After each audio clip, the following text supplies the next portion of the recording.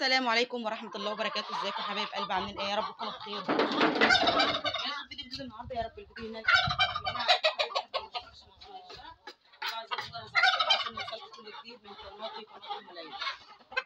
يا حاج أحمد؟ صباح الخير يا حاج أحمد. لسه بقى يا جماعة الطيور بتاعتي. لقيت شوية بقيت مبسوطة قوي ان أنا لقيتهم لأن الطيور بتبقى مبسوطة بالحاجة دي يا جماعة. فقلت أجيب لهم شوية حموضه النهارده لقيتهم جنب الباب منهم عشان نرجع المناعة بتاعتهم زي الأول تاني. خدوا كله. حموضه طري جدا جدا يا جماعة. ساعة ما لقيتهم جنب الباب جريت جاني جبتهم والله العظيم جايباهم امبارح المغرب وقلت أسيبهم للطيور تصبح تفطر بيهم الطيور اللي معانا موجودة معانا يا جماعة حاليا الحمد لله كويسة جدا جدا. احمد ربنا ونشكر فضله والحمد لله. بيبيضوا معايا وتمام التمام مفيش أي مشاكل. يعني أنا خسرت الرومي مش مشكلة أقدر أعوضه تاني بالأحسن إن شاء الله. بس يا عم الحاج بس يا عم الحاج كده عندي بقى يا جماعة هرس البيت عندي رز وتقوير كوسة. ليلى بنت عايزة تاكل محشي كوسة فقعدت قورتها على بيات وعندي التقوير بتاعها عشان إيه؟ أحط للطيور لأن قلب الكوسة دي حلو جدا جدا يا جماعة فيه قيمة غذائية كويسة جدا جدا للطيور. فيعني إيه؟ سبته وركنته في هرس ال- البتاع المطبخ عشان أصبح أحط للطيور ياكلوه اخرج لهم بس الخضرة الأول وبعدين أجيب لهم الهرس الثاني احطه لهم ما هو قدام منك الجهاد وبتروحي ورا ليه؟ بتروحي على بعد ليه؟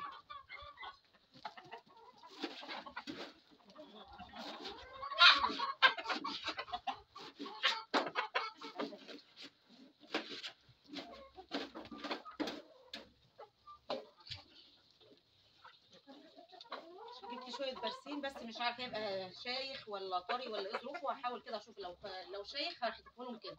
لو طري هخرطه برضه بالسكين. شكله شايخ شايخ والحمد لله.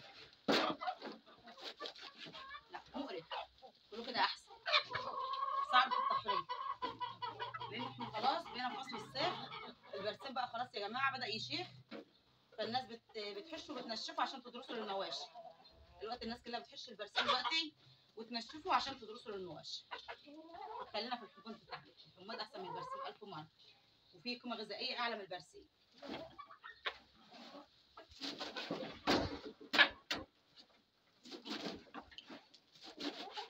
ساعة ما لقيت الشوط الحموض دول امبارح كأني لقيت كنز. والله العظيم كأني لقيت كنز.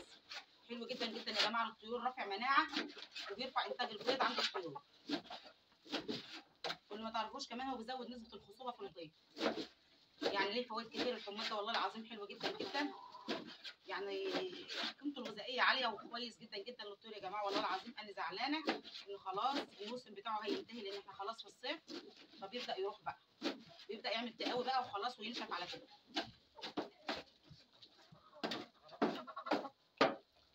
كده أنا خرطت لهم أهو.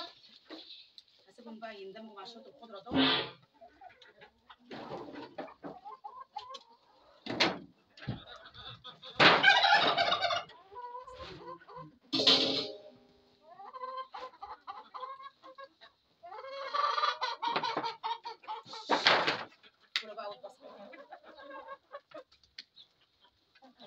الله ما شاء الله الحمد لله والشكر لله. إن أنا اديت تحفظ على الفراخ يا جماعة لأن الفراخ لو كان جرى لها حاجة. كنت هزعل جدا جدا. بس أنا مبسوطة الحمد لله طالما هم بيبيضوا العرف بتاعهم أحمر. مفيش أي مشاكل خالص. أنا وقفت الدواء البيطري اللي أنا جبته أنا حطيت لهم منه يوم واحد ولقيتهم فيه طشمة ظهرت عندهم فجأة كده بيعطسوا كلهم. فقلت لأ ما عدتش حاطة الدواء ده أنا هشتغل شيح وزعتر وليمون. يا جماعة زي ما أنا شغالة مع طيوري قبل كده والكلور والحاجات دي. فأنا عاملة لهم امبارح حطيت لهم شيح. النهارده بقى غالية شيح وزعتر وليمون. عاملة الوصفة على بعضها النهارده وابدا أضيف لهم على المية عشان ربنا يسترها معانا. لأن لقيت الدواء البيطري مش هيجيب نتيجة معايا خالص. أنا لجأت للدكتور البيطري لما لقيت الروم مات عندي بس أنا ليا دماغ خلاف الناس كلها. ما بقتنعش بالأدوية البيطري يا جماعة. أنا ما بقتنعش بالأدوية البيطري فلما حطيت لهم شيح امبارح صبحت النهارده لقيتهم بسم الله ما شاء الله حلوين جدا جدا. الطشمة بتاعي امبارح ديت أنا مش لاقيها خالص لأن الدواء شكله شديد وهيجيب نتيجة عكسية معاهم. فأنا وقفته خالص امبارح أنا بحط منه للبط بس فقط لا غير. إنما أنا وقفته بالنسبة للفراخ والرومي وقفته خالص ما عدتش بحط منه. فامبارح حطيت شيح زي ما قلت لكم والنهاردة شيح هعمل لهم شيح وزعتر وليمون. أحط لهم على الميه اعمل لهم الوسائل بتاعتهم وان شاء الله ربنا يسترها معانا وما يخسرناش فطيرنا نقوم بس اشطف المسائل بتاعتهم واجيب لهم ميه نضيفه عشان نضيف نضيف ال- الوصفه بتاعتنا عليه ونجيب بس الهرس بتاعنا نحط له اهدوا اهدوا اهدوا اهدوا يا شباب اهدوا يا شباب أنا قايمه أجيب لكم ميه مش قايمه اعمل فيكم حاجة والله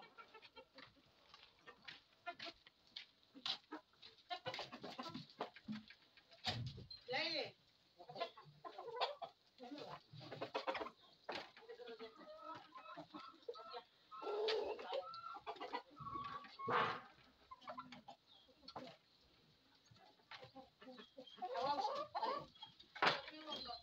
شايفين هعمل إيه ده يا جماعة تقور الكوسة. تقور الكوسة اهوت زي ما أنتم شايفين كده. وهرس البيت بقى رز وهرس وحاجات من دي أهو كلهم.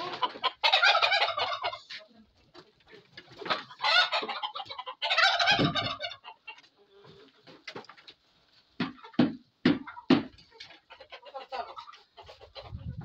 اتفضلوا يا شباب.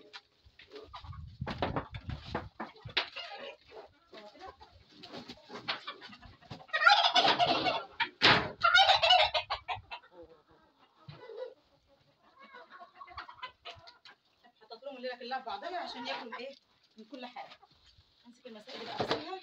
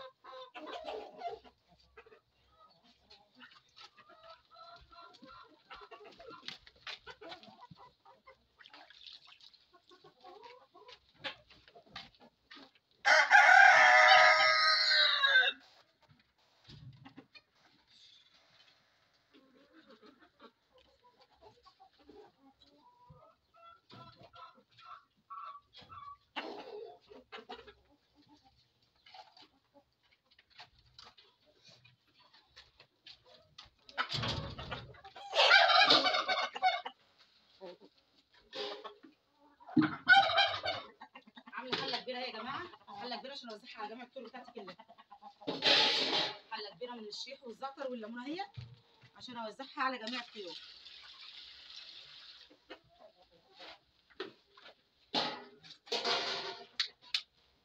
أنتم شايفين الطيور بتاعتي قدامكم يا جماعة هي مش فيها أي حاجة ولا فيها أي مشكلة خالص. الحمد لله والشكر لله ربنا يحسن ما بين إيدينا يا رب. ربنا يحسن ما بين إيدينا. بسم الله ما شاء الله ولا حول ولا قوة إلا بالله. الفراخ اللي قدامنا حلوة جدا جدا هي يا جماعة. لأن رفضت ان أنا أتعامل معاهم بيطري ورجعت تاني للأعشاب بتاعتي زي ما كنت بعمل لأن امبارح لو كنت شفت شكلهم امبارح مع العصا اللي كانت شغاله باستمرار كنت قلت خلاص أنا بقيت أقول امبارح خلاص اصبح ميت بس الحمد لله والشكر لله أنا اشتغلت قدام منهم الدواء البيطري في ثانية دلقت المية ورحت غلت لهم شيح وحطيت لهم في المية الحمد لله والشكر لله. صبحوا فايقين جدا جدا مفيش فيهم أي مشكلة خالص. فربنا يبارك لنا جميعا يا رب ويحسن ما بين إيدينا. شايفين؟ هم بيشربوا من الوصفة لأن الوصفة دي حلوة جدا جدا يعني إيه؟ ولها طعم مختلف عندهم عن الأدوية خالص لأن الدواء البيطري شكله هو تقيل وليه طعم مختلف فكانوا رافضين يشربوا منه. لما شربوا عشان عطشوا شربوا فلقيتهم كلهم دايرين طشمة بطريقة صعبة. فقلت لا ما بديهاش بقى. اشتغلت الدواء ده رميته كله وقلت مش مشكلة يخفى عشان ما يضرش الفراخ عندي. واشتغلت يا جماعة وصفات زي ما أنتم شايفين حضراتكم كده بسم الله ما شاء الله ولا حول ولا قوة إلا بالله. الطيور حلوة قدام منكم النهارده كويسة جدا جدا. والعرف أحمر قدام منكم مفيش أي مشاكل خالص بالنسبة للطيور بتاعتي فربنا يبارك يا رب ويحسن ما بين إيدينا جميعا إن شاء الله. هفضل شغالة مع الطيور بتاعتي. شيح وزعتر وليمون لحد ما أرفع مناعتهم خالص. واظبط الدنيا وياهم أرجع كلور تاني يا جماعة عشان أبقى عاملة عندهم مطهر ومضاد للفيروسات وكل حاجة. الكلور حلو جدا جدا يا جماعة. يعني إيه مرتين في الأسبوع كده على الأقل آه، كلور ومرتين من الوصفة بتاعتنا ديت. هتفضل الطيور بتاعتنا ماشية معانا في فترة الصيف. حلوة وكويسة جدا جدا. فربنا يبارك يا رب. ربنا يبارك لنا جميعا إن شاء الله. زي ما أنتم شايفين حضراتكم والخيوط كلها حلوة قدامكم مفيش فيها أي مشكلة خالص يا جماعة. وبكده حبايب قلبي أكون وصلت معاكم لنهاية الفيديو بتاعنا النهارده. وأشوفكم في فيديو جديد. والسلام عليكم ورحمة الله وبركاته.